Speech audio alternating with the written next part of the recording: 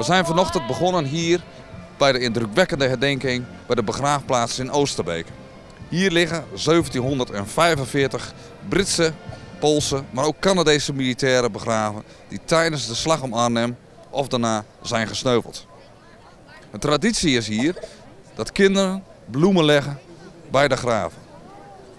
Om de militairen die hier zijn gesneuveld ook blijvend te herinneren.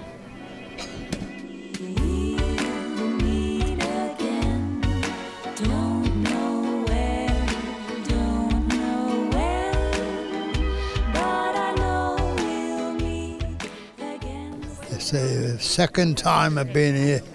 It's marvellous, fantastic. I'll be back again next year, I hope. And you were in Arnhem here? Yes, I was in Arnhem, taken prisoner later on, finished up in prison camp. Six months. How was it for you to be here uh, at the ceremony here in Oosterbeek? Absolutely wonderful, wonderful. Wouldn't miss it for anything. Come back every year if I can, hopefully. Yes. You landed here in Arnhem during Market Garden? Yes, I uh, landed in gliders. We were uh, came under heavy fire, so we had to go into this, these woods. We were there for two days and two nights. Couldn't get out. We're here this morning, so we've got to be thankful. These poor lads here that we left behind. Those are the ones I appreciate, and those are the ones I come for. To uh, give you a bit of comfort when you come here. En ze gingen lopend, met fietsen, met handkarren en volgestouwde kinderwagens op weg naar Harskamp, Ede, Apeldoorn. It's great to be back. It's my second home. I, I landed at Wolfheze. Uh, we came by glider. So we landed on a lovely Sunday morning like this. And the children are laying flowers here. What do you think about the tradition here on the on the cemetery? I think that's fantastic because uh, in the early days, the, the child and it's gone through the families, and they're still doing it. Yeah, I think great, great to see. Very emotional.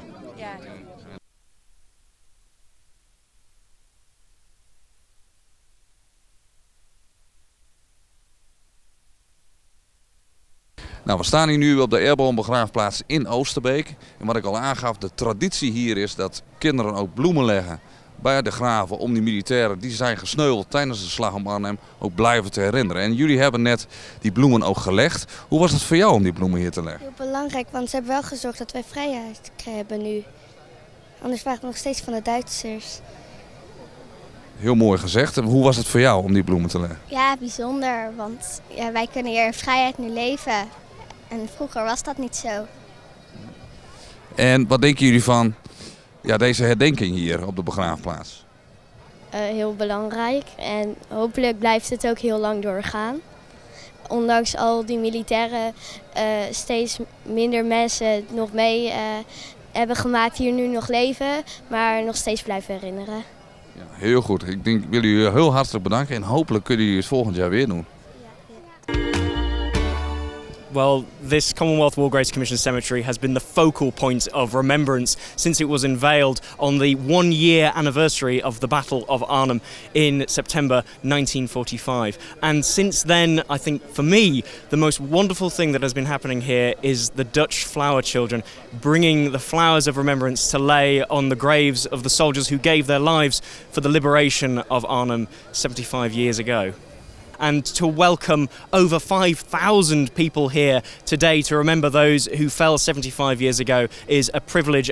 To the loved ones of those who lie at rest here, every grave is of, uh, of great importance. Um, one that has been particularly well visited over the last few days are the graves of the Gronert twins, Thomas and Claude. They were born together, grew up together, worked together in Cornwall in the United Kingdom, and they came here on the first day of Operation Market Garden, the 17th of September.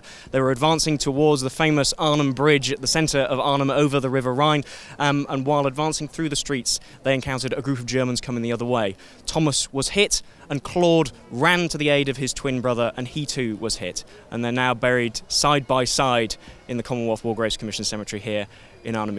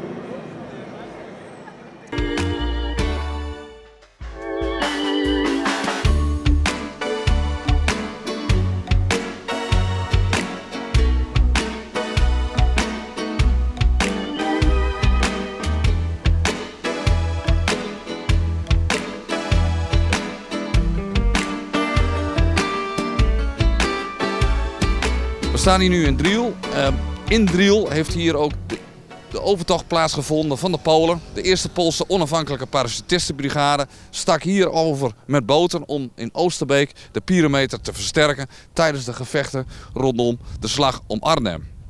Nu 75 jaar la- later zal ook weer het Poolse leger hier oversteken als ter herinnering aan de heldhaftige oversteek van de Polen hier in september 1944.